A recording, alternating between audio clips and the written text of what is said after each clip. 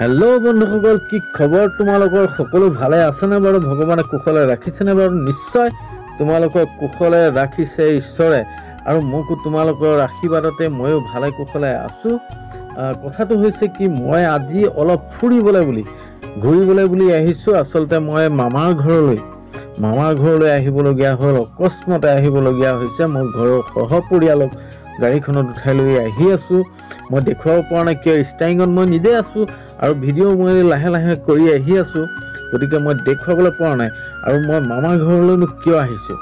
তাক জানিবলৈ চাই থাকিব লাগিব নদিয়াল ব্লগ নহয় নে বাৰু? গতিকে চাই থাকক নদিয়াল ব্লগ আৰু ভাল লাগিলে শ্বেয়াৰ ছাবস্ক্ৰাইব কমেণ্ট এটা কৰিবলৈ একেবাৰে পাহৰি নাযাব কিন্তু দেই। আৰু মই আহি থকা অৱস্থাত মই এইটো যে গহপুৰ পাৰ হৈ যে আমাৰ যিটো বৰিগাঁও আছে বৰিগাঁও চকটোৰ অকণমান ভিডিঅ' আপোনালোকলৈ আগবঢ়াইছোঁ। কাৰণ এই চকটোত যেতিয়া গাড়ী লৈ ঘূৰা যায় ন বহুত বহুত এটা ভাল লাগে। বহুত এটা মনত কিবা এটা ভাল লাগে মই বুজাই ক'ব পৰা নাই কি ভাল লাগে কিন্তু খুব ভাল লাগে হা। সেইকাৰণে মই এই চকটো আপোনালোকক দেখুৱাবলৈ চেষ্টা কৰিছোঁ গাড়ীৰ ভিতৰৰ পৰাই মই ভিডিঅ' কৰি আপোনালোকক দেখুৱাই আছোঁ। কেনে লাগিছে বাৰু এই চকটোত গৈ আপোনালোকে কেনেকুৱা পায়? এই কথাটো জনাবচোন দেই। বাৰু যি নহওক এতিয়া আমি আগুৱাই গৈ থাকোঁ মামা ঘৰ আহি পাব হৈ গৈছে মানে গহপুৰৰ পৰা প্ৰায় আৰু পোন্ধৰ কিলোমিটাৰ বিছ কিলোমিটাৰ আছে পোন্ধৰ বিছ কিলোমিটাৰ আছে আমি পোন্ধৰ বিছ কিলোমিটাৰ যোৱাৰ পাছতে আমি গৈ তাত মামাৰ ঘৰ পাই যামগৈ। মানে কি হৈছে জানানে? মামাৰ ঘৰত আমাৰ আইতাজনী বিৰাট অসুস্থ হৈ আছে।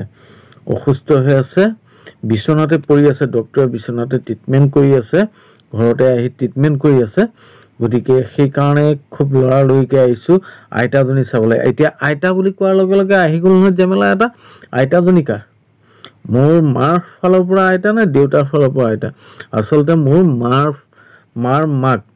আমি আচলতে আইতা বুলি নামাতো আমি বৌ বুলি মাতোঁ। আৰু আইতাগৰাকীয়ে প্ৰায় এতিয়া এশ বছৰ পাৰ কৰিলে। এশ পাঁচ এশ তিনিৰ ভিতৰত আইতাৰ বয়স। কালি ৰাতি খবৰটো পোৱাৰ লগে লগে আজি ৰাতিপুৱা গাড়ীত উঠিলোঁ আৰু আহি আছোঁ। বলক তেনেহ'লে লৰালৰিকৈ সেই জেগাকণত যাওঁ সেই গাঁওখনো দেখুৱাম মই।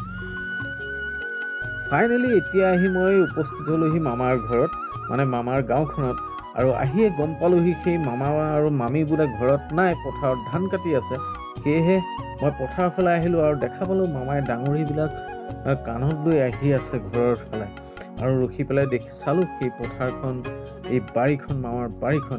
কাৰণ এই বাৰীখন এই পথাৰখনতো মোৰ দুটা বছৰ শৈশৱ পাৰ হৈছিলে। এই পথাৰৰ মাজতেই মই মামাৰ লগত ধান কাটিবলৈ গৈছিলোঁ ধানৰ বিটা কঢ়িয়াইছিলোঁ গতিকে ইয়ালৈ আহিলে সেই মোৰ শৈশৱটো কথা আকৌ মনতলৈ আহে।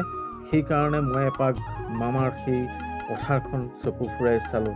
বাৰু যি নহওক মামাই সেই কষ্টৰ মাজেৰে খেতিৰ ধৰণেৰে ঘৰখন কৰি বনাইছে। এইখনেই হৈছে আমাৰ মামাৰ ঘৰ আৰু এইজনী হৈছে মামাৰ ছোৱালী।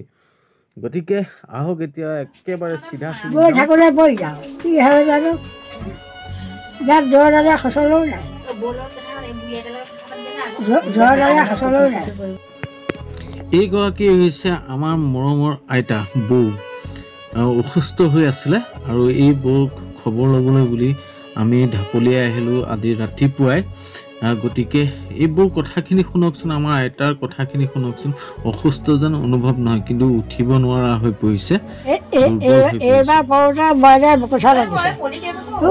ঘৰৰ পৰা গতিকে মই আপোনালোকলৈ অনুৰোধ কৰিলোঁ আপোনালোকে আশীৰ্বাদ কৰক প্ৰাৰ্থনা কৰক ঈশ্বৰৰ ওচৰত যে আইতাগৰাকীয়ে আৰু কিছুদিন জীয়াই থাকে আমাৰ মাজত এনেধৰণে কথা বতৰা পাতি মাতে কথাৰে যাতে আমাৰ লগত সদায় থাকিব পাৰে। তাৰ বাবে আপোনালোকে অকণমান আশীৰ্বাদ কৰিব আৰু কমেণ্ট বক্সত লিখিব আইতা আৰোগ্য কামনা কৰি সুস্বাস্থ্য আৰোগ্য কামনা কৰি এটা কমেণ্ট লিখিব।